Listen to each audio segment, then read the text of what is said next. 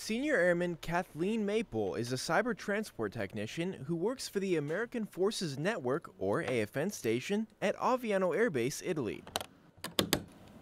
This special duty assignment throws unique challenges her way that always keep her learning. I am a maintainer here at Aviano for the broadcasters. Um, what I do is fix any technical issues that they have, whether it's on the radio, computers, any software issues that they have. Along with her knowledge of fixing broadcast equipment and software, Senior Airman Maple also sets up equipment to aid the radio DJs. Today, she's setting up a remote transmitter from a hangar on Aviano, which will send out a live signal back to the radio DJ.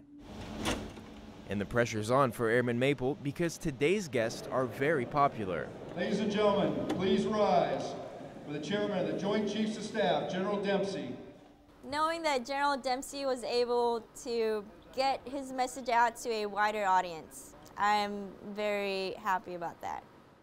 Airman Maple's expert job knowledge gave listeners, not only at Aviano, but all over Europe, the chance to hear General Martin Dempsey's insightful thoughts on the future of the United States military. Senior Airman Roman Weber, Aviano Air Base, Italy.